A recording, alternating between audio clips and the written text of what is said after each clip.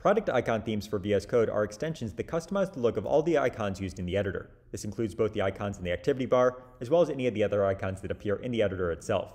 Now here I've already installed the Fluent Icons product icon theme extension, and to enable it, I'm going to open up the command palette with Control Shift P or Command Shift P and say product, and I want the preferences product icon theme command here. When I run this, I can go and select the product icon theme I want. I'm currently using the default one. I'll switch over to Fluent Icons, and you can see that as soon as I switch here, all the icons over in the activity bar have changed, as well as all the icons down here in the other locations. So you can see in the panel, for example, these icons have also changed to use the new Fluent icons instead.